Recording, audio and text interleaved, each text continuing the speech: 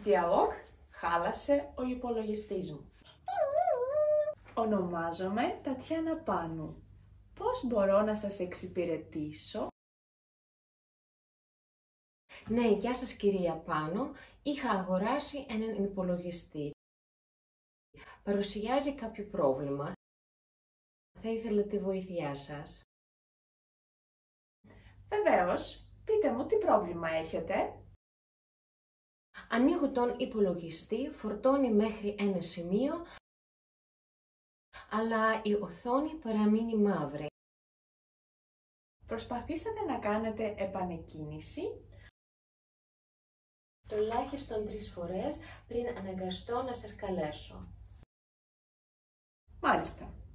Έτσι όπως μου το περιγράφετε, υπάρχουν δύο-τρεις πιθανές αιτίες για το πρόβλημα.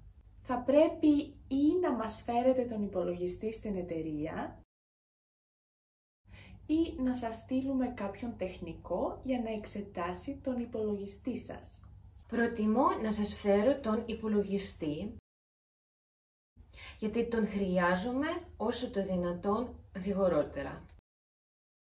Πολύ ωραία, γιατί διαφορετικά θα έπρεπε να περιμένετε μία-δύο εργάσιμες μέρες για να σας επισκεφθεί κάποιος τεχνικός μας. Εντάξει, κλείνω και σας τον φέρνω. Μήπως έχετε ιδέα πόσο μπορεί να κοστίσει; Η διάγνωση είναι δωρεάν.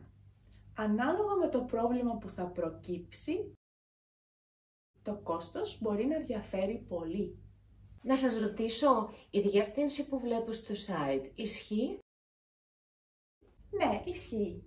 Σας ευχαριστώ πολύ. Τα λέμε σε λίγο από κοντά. Πάντα στη διάθεσή σας, σας περιμένουμε.